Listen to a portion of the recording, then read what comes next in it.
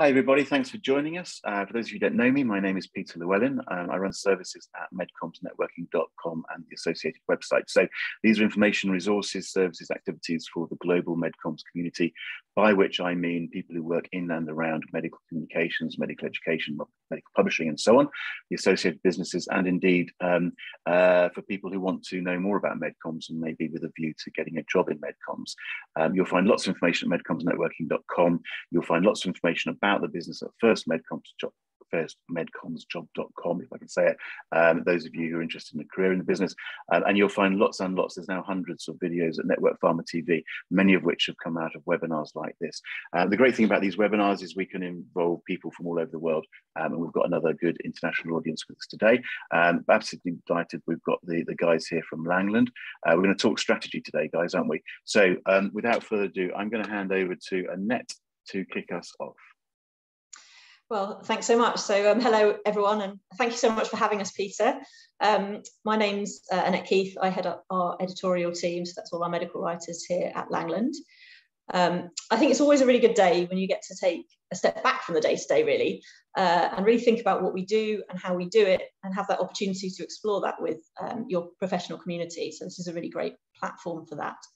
Um, so thanks so much to everyone who's joined. And, and, as Peter said, we'd really love to get your thoughts and a good discussion going um, after our presentation. So please do use that chat function um, and share your, your thoughts and, and questions uh, during the course of things and Peter will pick those up uh, at, at, the Q&A.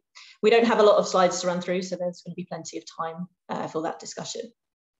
Just very quickly to set the scene, um, I'm not sure how familiar everyone is with Langland. Um, we're a medcomms agency uh, made up of four different disciplines. Uh, so that's clinical trial experience, medical strategy and education, advertising, and PR and policy.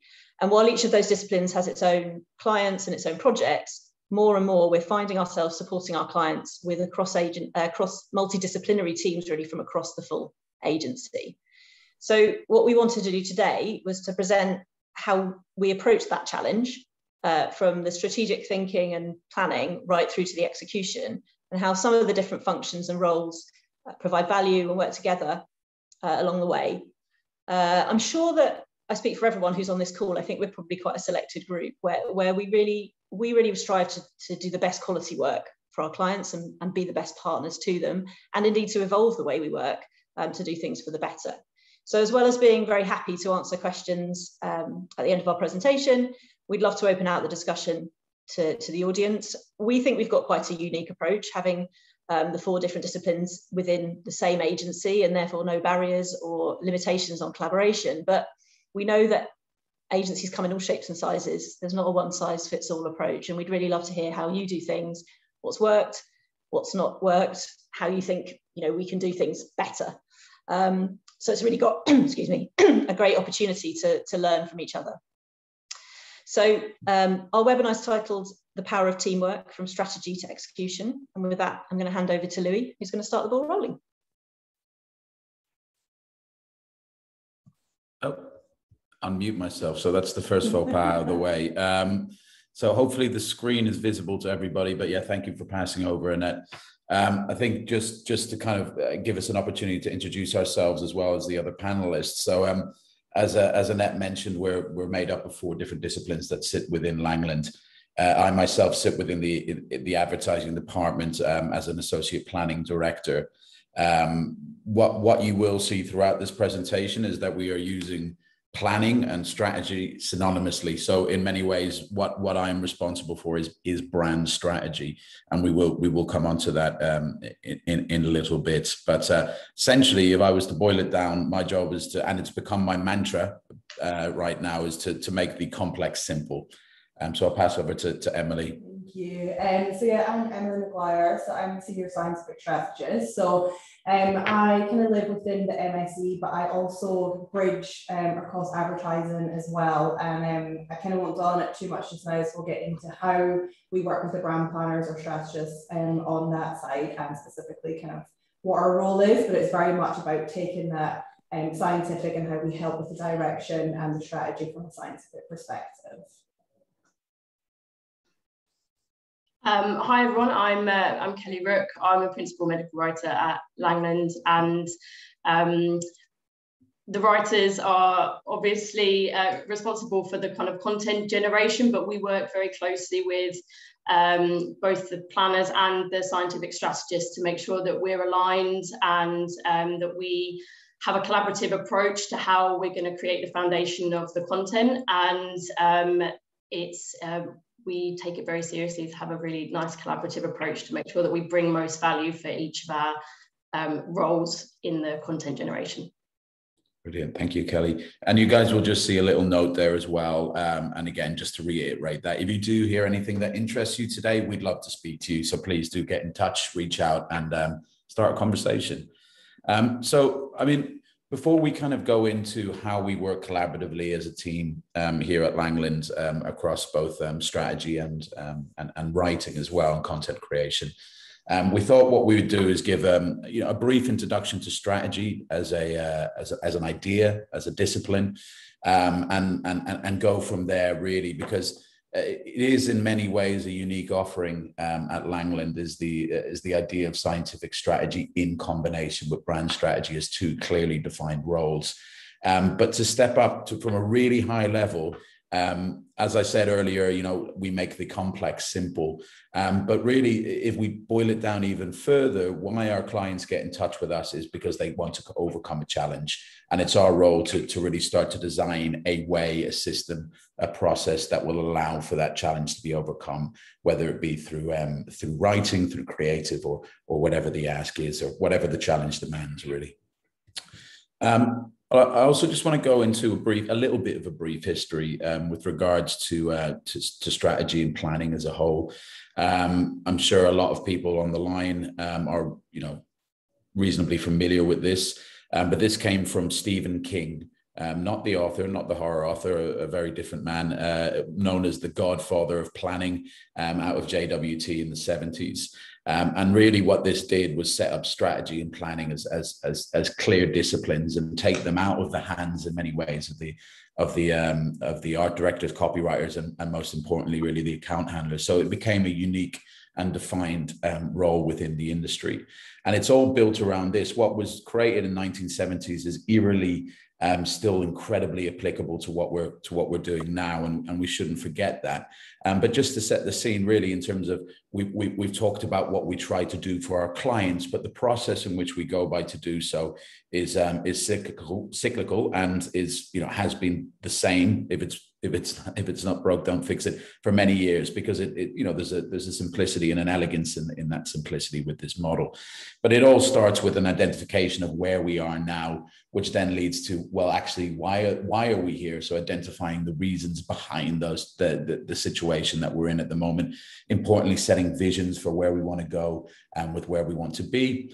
And then this is where the designing of the plan, um, the, the, the creation of the strategy, so to speak, um, comes into play with how do we actually get to where we want to be, and then we get into a moment of, uh, of assessment as to where as to actually have we reached where we want to be. And of course, as I say, that's cyclical um, because it's not just about designing one solution; it's about constantly referring back to that and seeing how that uh, how how that can be improved. Um, also, just to touch on, I mean, to define strategy is a very difficult thing. I think we're often asked to do that by clients who aren't as au fait with strategy as a discipline. And um, I mean, uh, our, our, boss back here, um, back at base, says it's it's kind of putting stuff in boxes um, uh, because it's a very difficult thing to to to, to really um, describe as in, in terms of what we do. But um, if we look back at you know those JWT days back in the 70s and and really how planning has been done and strategy has been strategy has been done by consumer agencies it's it's all about understanding our, our, our, clients business. So what is the product that they're trying to sell? What are their uh, their strategic imperatives or their business objectives? So we have to understand that side of the world but we also importantly need to bring a consumer voice into that. So we need to delve deeply into the psychology and the desires of our of our audience, but also importantly understand their needs. Um, because there's no point in um, in in just pushing something in people's faces and assuming that they're going to like it because it satisfies business needs. It also has to satisfy uh, consumer needs. So those two things come together into that definition of strategy, which then, of course, in all classic agencies, it's about that working together with uh, whoever sits on that on that communication side. So whether that be a medical writer or or, or a promotional copywriter or, or um, a creative team. Um, but the difference in the world that we're in, um, everybody on this line, is that we don't live in a world of simplicity. In fact, there's chaos in the world that we in in, in which we operate. Um, and on top of that chaos, there's a, there's a huge number of players as well, a huge number of different audience types that we need to take into consideration, which of course um, based on the four disciplines that we have uh, uh, at Langland. You know, we're touching some of those more than others in the different disciplines. But also across that journey, we know that there's differences in medical literacy, that value means different, there's value is derived from different areas for different audiences, um, and also the ability to, uh, to communicate um, the patient's voice throughout these, uh, throughout these audiences is quite, an, quite often a challenge. So we live in a world of chaos and, and in order to bring and a world of, of, of, many different audiences. So in order to bring some sort of order to that chaos and to uh, to be able to uh, to communicate deeply to a scientific audience, science also needs to form part of that strategy in our world. And when we say science, it's all about the truth of the data, the clear singularity um, that we're trying to get across in terms of our scientific messaging, um, but also that idea of truly understanding the nuanced difference between different scientific communities. So they then what we have is actually a much more comprehensive. And if you ask me why I'm in uh, why I'm in the world of, of healthcare and medcomms, the reason will be because it is a more complex world. So the job becomes even more difficult to simplify that. Um, uh, but also importantly, that's why we have defined in many ways um, that that that separate role that exists here at Langland. Um, so what we'll do now is we'll go around and we'll just kind of introduce a little bit more um, what we're responsible for when it comes to the designing of the of those um, of, of those programs to overcome challenges. Um, so from my perspective, what you guys will see on screen, uh, hopefully in front of you, is a representation of blueprints. And, uh, you know, to, to use this analogy to carry it through in terms of, of, how we work together, really from my perspective, it's about defining that problem right from the get-go with the clients and understanding, um, you know, actually what they're trying to solve. It's no good for clients to come to us with solutions often. Um, what we want is to, to really get to the core of, of of what that problem is and from there start to put in place those clear blueprints of, uh, of, of what, what that solution could begin to look like um, but importantly it's at a very high strategic level at this point um, but of course i would work with, uh, with, with emily as well on, on the scientific strategy side yeah, so for us um, in particular, when we're working um, with brand strategy, so to carry again an analogy that you can see we're working with here. So kind of one sort of the brand planners or brand strategists set that blueprint. It's kind of really our job to come in and help with those foundations. Um, and in particular, very much about um, you know where we're taking that brand from a scientific perspective. And um, again, quite often coming from the advertising um, side of things, it's very much about finding the human truth and the emotional side, the scientific strategy really makes sure that everything we're grounded in is from that scientific perspective, but it's what can that product actually truly stand for.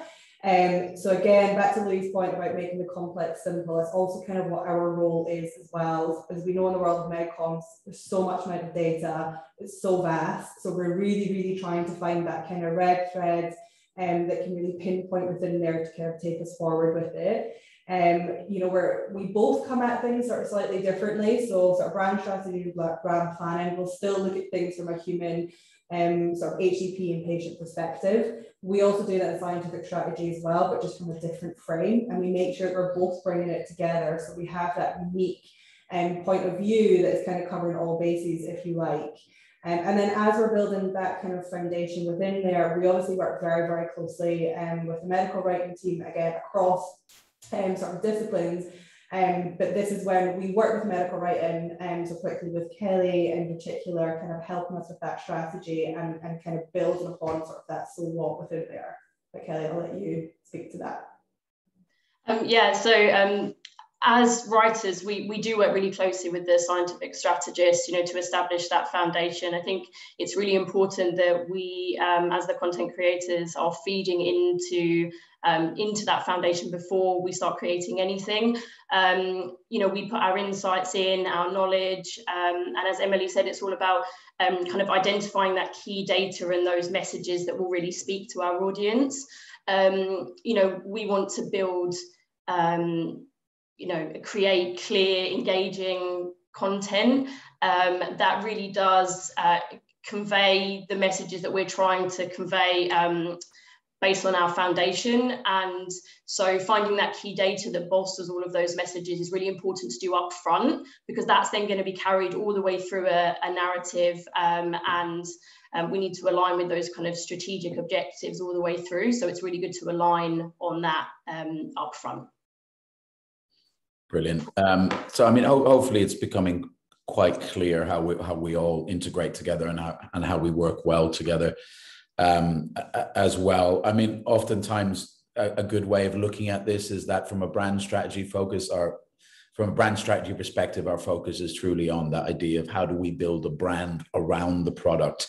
Whereas I think in, in many ways, a scientific strategy is a is what's that truth that lives within the product, so to speak. So it's that the colliding of worlds of brand and product come together with then you know kelly and her team articulating that in, the, in in terms of how the content is then deployed. And and of course as we say we're all we're all working um, into one another and feeding into the process throughout which hopefully the um, the next few slides uh, sorry next slide will uh, will, will demonstrate. Um, so what we've done here is is take a um, and of course we're not putting any um, client names or information here, um, but we um, we want to talk through a quick example of how we actually have in practice worked together as a um, as a triumvirate um, in terms of uh, of this dual indication campaign that was um, requested of us um, in, in, the respiratory field. Um, so what you'll see as well, just down in the bottom left-hand corner, is a, is a little key there to, to understand um, as we start to build this chart. Um, so the first the first point of involvement really um, the first time we have that connection with a client is really as i mentioned earlier before is about not jumping to solutions it's about trying to really define what that problem is. Um, so when we had our clients come to us with this particular challenge in mind we had to work with them to kind of massage it a little bit and take that step back and assess the context in which we're operating. Um, and really to, to give you to give you a, a little bit more detail on this the, the definition, the problem that we really were trying to solve here was that we, we had launched with one indication in, in, in most markets globally, and we were bringing a new one into it. And the, the, the difference in terms of how these diseases are perceived the diff- by, by healthcare communities, um, by, by the marketing team, by, by everybody involved, um, was something that we needed to understand, right? So we needed to define really truly what what that problem was. And and where we came to was this idea that um, actually there's a key difference in terms of um, of of how these two diseases are perceived. And as a result there's a very difficult um, there's a very difficult area to overcome in terms of bringing them together in in one unified um, sale or one unified promotion. So that that was the first step really um, then we moved on to, to the insight gathering, which was, um, you know, uh, as, as Emily mentioned, we kind of attacked this from different angles. From my perspective, it was truly delving more deeply into understanding the behavior of those HCPs, why they saw a difference between these different disease areas, um, and not only disease areas, the patients within those disease areas, what their perceptions of them were, um, and and and and and uh, you know any further detail into the true desires of these of these and needs of these audiences. And I think just from from my perspective, so the way that I came at this is very much looking at the, the disease itself. Um, again, without sort of saying too much about who it was, it was obviously two indications within sort of one kind of disease landscape area. And what we were really, really trying to get at with our insight gathering here was we had to find a commonality between the two diseases. So as we started uncovering with a lot of the insights, we were actually found there's a lot more disparity than there was commonality. Um, and really the, the question being asked to us is what is that one kind of single-minded insight that we could find within here that would really unify things obviously from all perspectives. Um, again, I very much looked at the, I think it was also in collaboration. So when we were looking at things from the HCP perspective, um, it was making sure it was grounded in actual sort of real science, real data within there. Um, so we covered quite a lot of ground, I think, within side sort of the insight gathering within here. Um, and our purpose, obviously, with this as well, is we wanted to take this forward to um, a particular sort of KOL council. Um, the company had a, a particular terminology of, of, how they kind of um, coined it. Essentially, what we did was we, we came up with sort of um, five different hypotheses of what we thought linked these two conditions together. Um, we worked through very much from sort of the, the scientific MOA perspective, but again, ladder really, really back up to that kind of um, emotional standpoint and what this meant for not only the physician, but the patients as well. Um, and I guess quite similar across sort of within medcomms, as you would run sort of an ad board, we took this to a panel, I think it was about eight positions um, and we kind of um, sort of interviewed them with these hypotheses. Um, we also use sort of different different ways to get our, our insights within here as well, kind of looking at real life um, HCP and patient interactions. We actually managed to um, have full transcripts into that. So although a lot of what we were sort of doing was based on hypotheses, it was sort of grounded in truth and facts within there as well. Um, and that, that was kind of my role to help sort of mediate that within there, um, obviously taking it to that kind of council um, and how we would normally run an ad board, taking learnings from there to how we can approach um, the physicians within this space where because it was hypotheses, it's a little bit more arbitrary. So how, how do we make sure we're getting obviously the, the absolute best from the physicians within there? Um, and through, through our insight, we actually did come to, to those kind of common, common insights. Um, and once we came out from there, we kind of validated. We had some where the physicians were like, absolutely not, you're completely off the mark within there. Um, but it allowed us to really get to the point of understanding. And I think we came out with um, sort of one or two that were kind of clear, clear winners within there. Um, so from there, our kind of next steps from that is taking us into briefing. I'll pass it back to you if you want to take credit. Yeah, thank you. Um, I think as well, I mean, it, probably everybody who's been on Peter's um, webinar has, has spoken about, you know, system one and system two and the, you know, the, the reptilian brain and the slow moving brain versus the fast moving brain. Um, and I think, you know, I mean, it's everybody's spoken about it because it's, I mean, it's, it's something that's, it's truly embedded in what we do. And just to cover that off as well, I think, um, you know, there's two sides to every coin. There's the emotional and the rational. So as you know, as Emily's saying, we have to be making sure that the science is is it, you know we're talking from a point of truth, but also at the same time we're also dealing with complex humans and we need to understand what their perceptions are. Um, so it's not just um, it's not just all about that focus on, on, on the system two. We're also looking at that immediate response as well. Um, with regards to the briefing, um, for the for the you know for the sake of simplicity, we haven't built this out into the into where the creative brief took us. Um, but it's more of a point to, to, to illustrate here that um, you know, Emily and I were working in tandem um, with two separate deliverables. One was for the creative brief, which would you know ultimately um, uh, result in, in in a full creative campaign, um, you know, a, a, new visual identity and creative campaign, um, and the other being um, you know more of more of how we take this from the story perspective. Um, but you know one thing that we we focus on um, on both sides of that coin um, is this idea of perspective gathering. Um, so it's all about taking perspectives from different areas, whether that be society, uh, people, business, or science, and and we bake those into into both the, the different types of brief that we we write. So from from a creative perspective, maybe more focus with on the people, um, and then perhaps a bit more of a focus on the science from the story flow perspective. Yeah, the story flow is definitely more grounded in the science, and I think the interesting challenge we had about this brief was we had to write for a global audience as well as a US audience, um, and in particular the data was very different from US to global as well. What we could say in the US, we couldn't say globally. We've all kind of been there, and vice versa. Um, but in particular, the nuance within the data was so slight. I remember going around, we had something could say sustained, something could say significant, something it was very, very intricate in terms of what we could and couldn't say. And um, so the focus with the story flow brief, obviously because this was coming from a kind of more of a, a commercial client, was sitting in the advertising side, we had to make sure that all of our writing still laddered up to um, you know, an overall story that was going to have that kind of um, sharp, sharp, that was telling in a succinct way, but it was really, really important to make sure it was grounded in the science. Um, particularly when we looked at our competitors, we had no head-to-head data in this space, um, and everyone was trying to claim sort of very, very similar. So we had to get quite creative with our writing within there.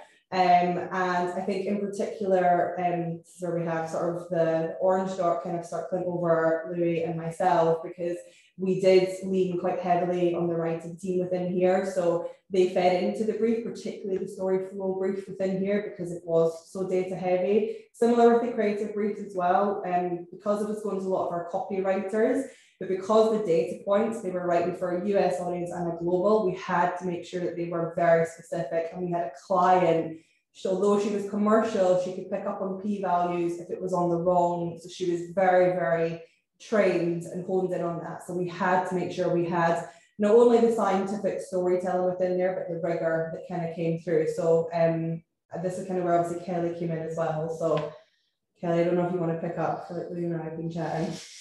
Well, no, it, it, everything you've said is you know absolutely bang on. I think um, this is why it is really important that writers are kind of um, brought in um, upfront in the briefing stage just to ensure that actually what we're claiming and the direction that we're going can be substantiated by rigorous data um, because um, ultimately that is what underpins everything we do and should do. So yeah, it was it's a really key part of that upfront stage. But as you say, it's really important to be bringing in that emotional side as well as the as well as the data because we also want these pieces to really connect with the target audience um, and uh, and that's that's a big part of what we do actually so um, bringing all of our kind of specialties together at this point is a really important part of creating that foundation for the rest of what we do I think with that content creation as well, just to touch on it, um, sorry. There's obviously, um, when we kind of took that forward, again, although it was very, very much led by the writing teams and myself and Lou, we still have those touch points. We still make sure that, you know, all of us are aware of that strategy because at this point it was very much obviously the writing team leading this. So they have to write from that, obviously, strategic perspective. So I think it was just we had a light touch in just to make sure that it was all just kind of hitting along, um, particularly from our different client perspectives as well within there. And um, so throughout this whole process, I think one of the main words we said at the start was this collaboration. Yeah, and um, it it is um, as we said the um, we as writers will look really deeply into into that content and and look at where the the most relevant kind of um, accurate data is and ladder up to that story flow that's been created up front. Um, it's you know structuring it based on that foundation creating kind of clear messages um, and like you say tailoring it to different audiences and tailoring it to different markets um, it's important that we bring the kind of compliance side in and also then having it at the front of our minds that um, we are aligning to those strategic imperatives um, as well. So we're bringing all of those things um, in as we as we are creating the kind of the full content, the full um, story flow.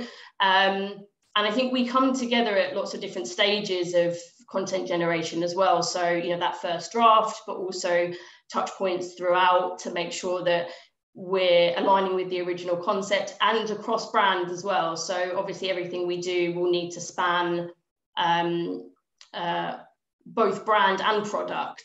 Um, so um, it's important that we kind of do keep those touch points and and make sure we're bringing all of those um, elements together. There's a lot, like you say, making the complex simple, but there's a lot actually. Um, I think not everybody realizes when you just write content uh, that actually you're bringing in the subtle nuance, the type of language, um, it you know, and also then underpinning it with really strong data. Um, the differences in in wording can make a real difference to the connection with people. So, and even how you create those pieces. So um, the, the format that it comes in, that makes a difference to how it connects with people. So all of these things are taken uh, taken into consideration as, as the content is generated. So um, it's a really exciting process to be part of, to be honest, especially when we get to work with um, both of your skill sets as well. And then we get to the point where we all sit in a dark room somewhere in France and you know look through a double behind a mirror. Yeah.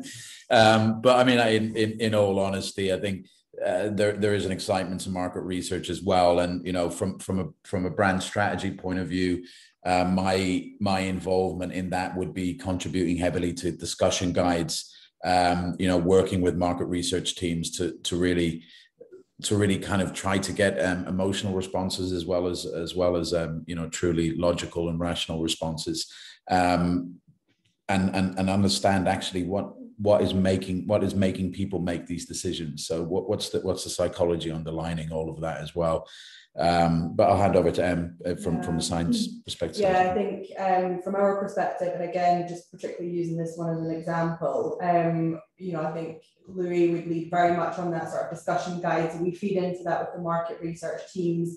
And for anyone that's never kind of done or been on with market research, essentially what happens is that that content creation um, that Kelly's team's involved in, that is kind of acts as your stimulus, which is then put into to market research, which is fully blinded. Um, and it's done by an independent agency. And essentially, as, as Louis said, we all kind of dial in, and they don't kind of they know we're on the phone, but no one kind of sees you. Um, and then essentially it's obviously presented to them and there's a series of questions. So it's kind of our job, and particularly I guess from a scientific strategy perspective, is is the way that we're presenting the data, the way that it's coming across, is that kind of what we call sort of the hero PCs, the hero data, is that coming through? Is that sort of landing? Do they remember that? So we really make sure that the questions that we're asking is getting us to the point of understanding is again, it's coming back to that aspect of the product. So I think we're really making sure that the product from a scientific strategy perspective is coming through. And I think with Louis, it's obviously that kind of brand perspective is kind of all laddering up um, within there. And then obviously um, we all sort of listen in. I think it's our major role, and it's, it's really important as well, I think, at this point to have to all the writers um, who are working on this and touching this on the market research because although you get reports that come out and again I don't know if anyone's ever sat on a, a, a download of a, a, market research report and um, but basically the, the agency themselves and um, you know they take all the insights and all the findings and present it back. But there's nothing truer than actually sitting in and listening to what that position is saying because there's nuances about language and um, particularly again if it's across markets so um, translation some words that we think absolutely fine does not translate well into German for example and um, so there's all these little nuances that kind of you get from just listening into that market research so it can be kind of time time labor um, but it, it really does help to kind of have sort of all of our teams on that market research within there. I think you'd be surprised as well, actually, how when you when you hear feedback firsthand, how you can hear the difference in people's tone of voice as well, and how they really they they truly feel about something. People speak quite passionately about what they do and how they see um, their patients and things like that. So um, actually being there firsthand can really make a, a, difference to then integrating that within the content um, and any changes that then have to go on to be made. Um, definitely seeing that firsthand um, and also actually live kind of evaluating what feed what the feedback is and the data that we have in order to support that. Sometimes suggestions are made and it may seem like a good idea but actually we we can't substantiate it. So it's nice to also be there to be able to kind of see if there's any key data that we have in our knowledge as writers that we could already bring you know bring to that um, when it comes to then starting to amend the content. Um, yeah it's a really good thing to be part of as well a nice segue into that as well, Kelly, because I think um, one of the things with the market research, and I guess is both myself and, and Louis' job within there, is to um, you know take the findings. Um, and sometimes is that you know how's how's the work going to get adapted? What learnings have we taken from the market research? Um, generally speaking, so I know for the story flow, for example, we tested different story flows, kind of what worked well. So we come out with this kind of optimized story flow. So then that goes back to, you know, we can tweak the brief. Do we, is it a full rebrief sometimes? I think we've maybe started research where mm. completely everything has bombed and then we're back to, to square one with that. But kind of every learning is a learning and helps us with the direction of where we go. And then obviously that's back to how we shape that content. And then that's kind of taken us right through to full tactical implementation within there. Brilliant. Perfect. So, I mean, I think that concludes our presentation today. So um, I'll, I'll stop sharing now, Peter, and I guess open the floor for, for the Q&A. Fantastic. Thank you very much, guys. Okay, um, we have got just a few minutes to, to talk, and I would remind the audience to um, to chip in with your comments and, and observations and questions um, using either the chat box or the Q&A box. It doesn't matter to us. A um, couple of quick questions from me. Um, excuse me. Just an, just an immediate question um, and, and, a straightforward question. In terms of the market research you do, is that have you got market research within the organisation, or is that is that tending to be done by a third party market research company? Yeah, that would be that would be done by third party, but, but typically, yeah, yeah, typically. Uh, but with um, I mean, we have run some ourselves, um, uh, some more minor stuff, but yeah, deep collaboration with the with the market research team. So it's not just an off the shelf model. It's it's truly um, created for for the needs that we need it for. Yeah. Okay, but just picking up on the comment that came in from anonymous here, because um, I, I did wonder slightly the same thing as you were talking. You were talking about insights gathering as something that you were doing yourselves and then the market research is something that's done by somebody else. And i guess the, the question is is that not the same sort of thing? And how, how do you distinguish that? And why is one inside and one outside? And so on just talk to his point. I say him sorry anonymous him or her uh, their point um, a little bit yeah? Yeah I mean? no I, I think i think that's a i think it's a great question to be honest. Um, the thing is everything that we do should be driven by insights right? There's no point in creating something unless we know truly what what what's in the hearts and souls and minds of our of, of our audience and importantly the data and the, and the response to that.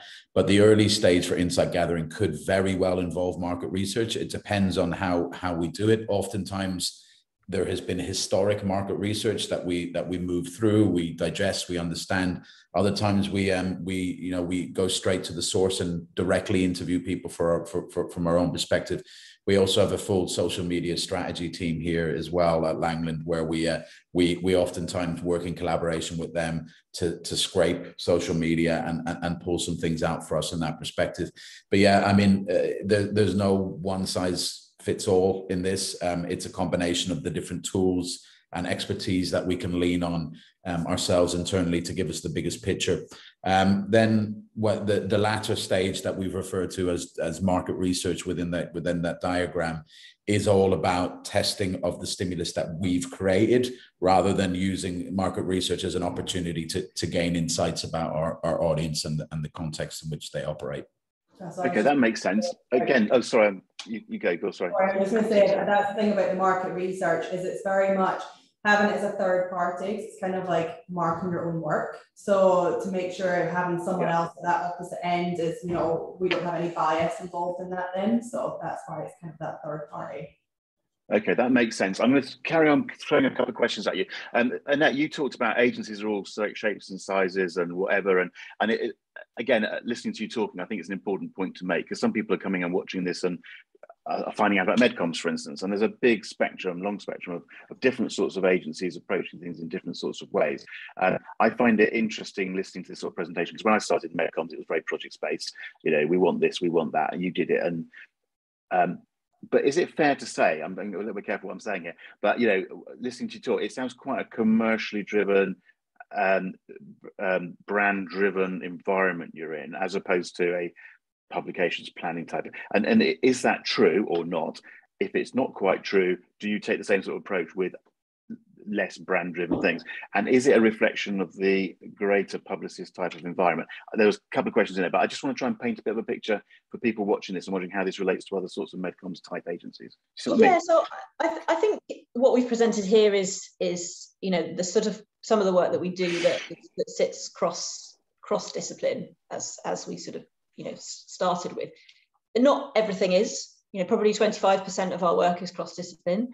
Um, and in the MSc team, where our medical writers sit, you know, we do med ed projects like, you know, in other, you know, independent right. med ed agencies. Okay. We do have the advantage that we can draw on expertise from the other disciplines, which is actually really useful. So we can, you know, we can, you know, say, oh, actually, you know, let's get somebody in from our CTE team, for example, they do loads and loads of stuff with patient materials because it's all about uh, recruiting patients into trials and keeping them there, etc. So I might, you know, we might have a, a project that comes along and, and, there's a there's a lot of patient kind of focused things, and we might say, okay, let's get Vicky, our creative director, in from there because she's got some really great insights and she's really experienced, right. and her team can develop that. So it's nice to be able to draw on those things, but it is also true that every project is different, and not every project is is like is like this one. So we don't tend to focus too much on publications. In, in all honesty, I suppose we are kind of you know, we are in this big sort of advertising network, so to speak. So it's probably not our sweet spot in terms of MedEd, but we do do the full suite of MedEd activities. We do do some publications um, as well.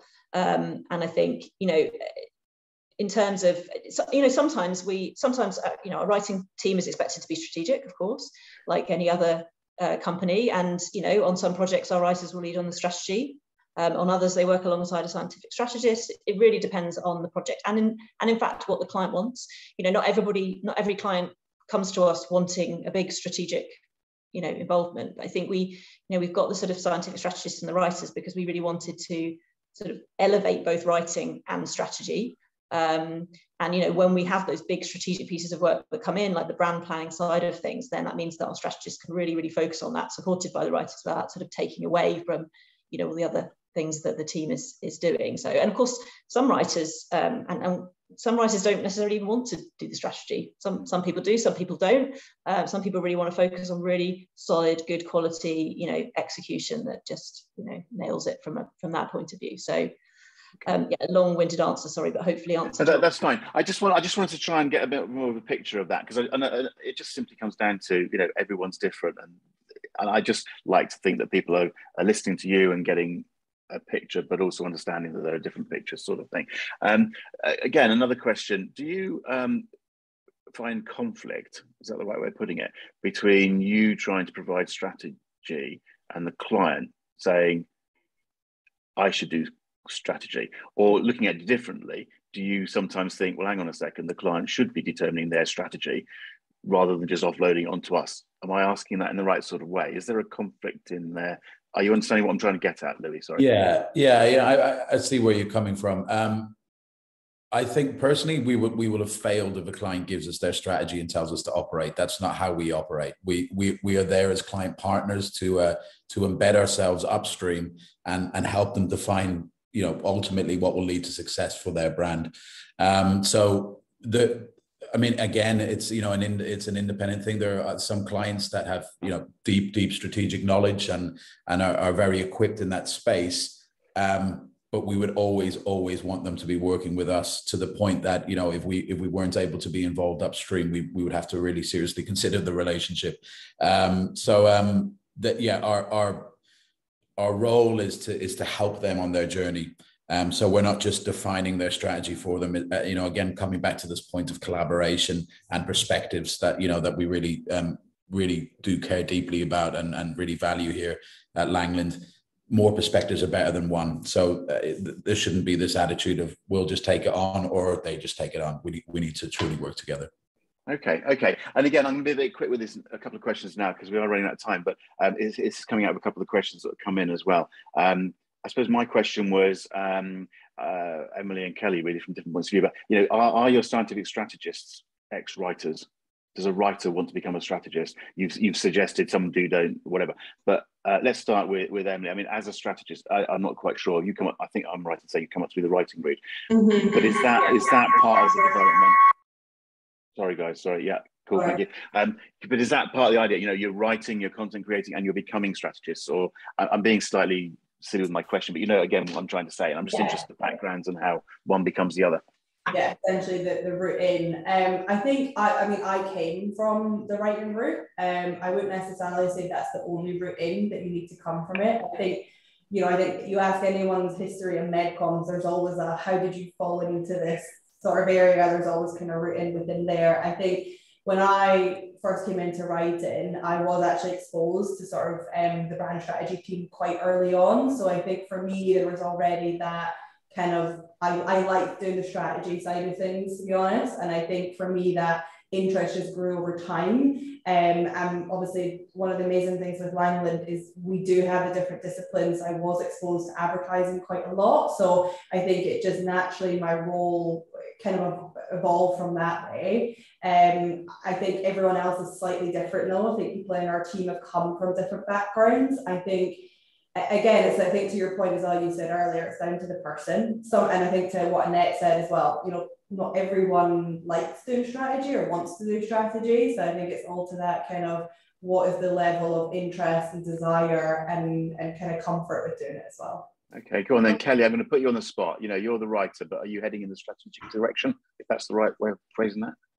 Um, I I uh, love the concept of strategy. I think it's really important in what we do as writers, as we've already talked about. But um, as Annette touched on as well, you know, as writers, we we're charged with bringing that strategy through content. Um, and so I still get to be involved from a strategy perspective, but I get to do the other stuff I enjoy, which is generating content and um, kind of overseeing that from an editorial perspective. So um, I personally feel like I get a good balance in my role, and our writers at Langland get a good balance in their role um, to be exposed to strategy um, in the work that they do as writers. Um, and as Emily said, her her passion for that developed as she was exposed to the different disciplines more and the different types of work. So then she realised that was more for her. But we do have um, a nice sort of um, balance of all of those elements in what we do as writers. So it doesn't necessarily mean all the writers are going to end up scientific strategists. I think we, we get enough of that. And uh, actually, I've seen a question about kind of um, training on strategy and bringing that in early and the kind of um, whether we are kind of exposing people to that. And um, we at Langland do do a lot of training on what strategy is why it's important um, the benefits of it the benefits of each of the roles that we all play and where we can bring that through. And um, it's the same with uh, the training in the writing team is that we we try and make it clear um, in our reviews, for example, um, as to where we can bring in, you know, the, the strategic objectives, where we're laddering up to certain things, how we can do that. And so that also trains the writing team kind of on a day-to-day basis as well. And we think that's important because as people fall in love with the different sides of medcomms, it's important that, you know, we kind of expose everyone to every angle of it and make our skill set very um, wide reaching. Yeah, I mean, and just just to build on that as well, I think because it addresses a, a number of the questions that are that are coming through is um, that at Langland there's, there's a system of fluidity and kind of to a degree an element of horizontality as well, right? So is that it's not just experts that live in their boxes. It's not black and white in that sense. And and I think to address there was a, a question around medical strategy versus brand strategy and is it defined in a black and way of commercial versus medical what we like to kind of draw to, um, as an analogy um, to, to, kind of answer that question here at Langland is to brand strategy and, and, and, and scientific strategists are like an art director and a copywriter. So any good pair, right? Any any art director worth their salt can write a good line, and any any um, any copywriter worth their salt can come up with a good visual visual idea of how things could look but they're not their expertise. So we, we have the ability to kind of move between and th- that element of fluidity, but there are things that we are stronger at than in certain areas than, than, than we would be in others. Mm. And, and okay. different projects require different specialties, as yeah. Annette um, touched on earlier, is that sometimes there isn't necessarily a requirement for lots of input from a strategist, but just maybe the upfront. Um, and then you know that they're around, that you can, um, you know, you can still engage with them and just make sure you're going in the right direction. But there are some things like big brand plans and lots of things where it's really predominantly their expertise. But it's a, it's a great thing actually to be working in a team like this because you get to share the experience and expertise from lots of different areas, which allows your own sort of skill set to grow. Excellent. Okay, look, guys, we're a little bit over, so I'm going to cut through this. Um, I, I, find it interesting. I hope other people do, just to hear. it, it is a different picture you're painting. Medcomms is a broad church. I hate that expression, but you know what I mean.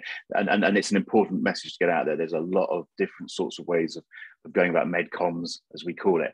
Um, but it's also changed a lot over the years, as I say, from like maybe it was very project based when I started, sort of thing, into this much more sort of strategic type and communications partner type approach and so on. Different agencies go about it in different ways, but um, that, that's a strong part of what medcomms is, to, is has evolved into. Um, thank you very much for sharing your thoughts and, and some examples from what you do. Um, I know I can speak for you and say that you're very happy for people to contact you via LinkedIn. Um, so please, anyone watching this, do do this is part of the point of this is make contacts and follow up okay? Um, if anyone's interested in what i'm doing medcommsnetworking.com um, and you'll find lots of information and lots of uh, webinars like this and loads of content over at network pharma tv and other places. Uh, so please and, and, i'm always very happy to hear from anybody. So on that note um, i'm going to say thank you to everybody. I'm going to ask you all to give us a wave um, tell everyone to stay safe in these rather strange and uncertain times um, and say goodbye. So bye bye everybody. Thank you very much